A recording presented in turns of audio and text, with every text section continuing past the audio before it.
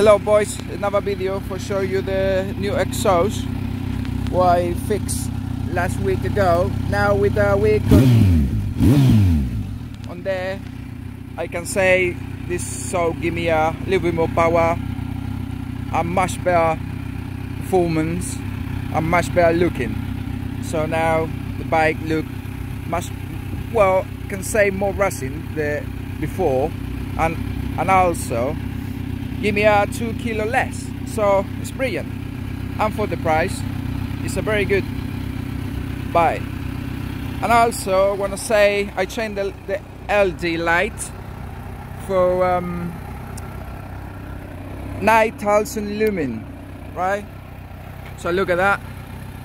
Check it out. Some more better white light. So this give me better vision in the night when I drive it.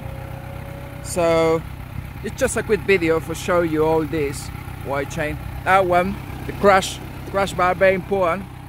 If you crash the bar if you full over this uh, give you a extra protection so you don't crash the bike. And that's it. So I'm very happy with the show have the DB killer inside.